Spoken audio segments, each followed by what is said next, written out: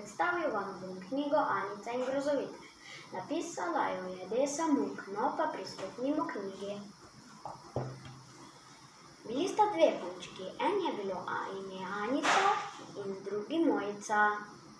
Nekega dne je mama peljala Anico in Mojco k njuni prijateljici, ki sta je imela dve punčki. En je bilo ime Maša in drugi Petra. Punčkami so se zelo zabavale in so, celo so se šli uh, kopati v potok. In potem so odšli na sladoled. A Anica je videla nekaj zelo čudnega. Maša se je usedla Mojici na krilo in dala poljub na, na čelo. Anica je začudeno opazovala Mojico, Mojico in Petra in Ma Mašo. Potem je bil že večer in odpravljali so se spat. Mama je prišla dati ljubčka Anici za lahko noč. A potem je vprašala Anica mamo, mama, zakaj je dala Petra, Maša, a Mojici poljub? In mama je odgovorila, ker sta se imeli radi. No, bil je naslednji dan. Mama je prišla, je šla v službo in v službi dobila karte za koncert. A odšla sta z očkoma še prej, je skuhala Anici in Mojci golaš in odšla sta.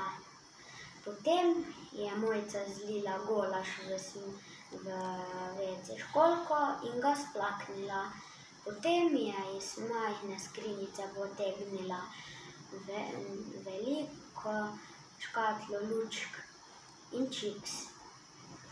Potem sta se usedli, je se je Mojca usedla za kavč in prižgala televizijo. Tedaj pa je prišla Ana in Mojca vprašala, zakaj, za, zakaj ima tu čips in lučke. Mojca je delala, ker bova gledali strašljivke in jedli čips in, in lučke. No, gledali sta in jedli, tedaj pa je v filmu prišel neki možak z masko in motorno žago, ki je iz motorne žage kapljala kri in, proti, in šel proti punci, ki se je zvilajala in kričala. Tedaj se je Anica ustrašila, vrgla skledo lučke in čipsa po tleh, a mama ni mi ni, ni bilo všeč, ker je bi mogla potem vse, spo, vse pospraviti. Anica je zbežala na, na kav, na vesed, na žledež in si dejala, zakaj mi je mojica ne mara, tedaj pa je nekaj zaslišala na vrtu. Uglašalo se je in bila je neka senca, tedaj pa je zmanjkalo elektrike. Še Mojca se je ustrašila. Hitro, Anica je hitro stekla Mojci in, bo, in se ustrašila.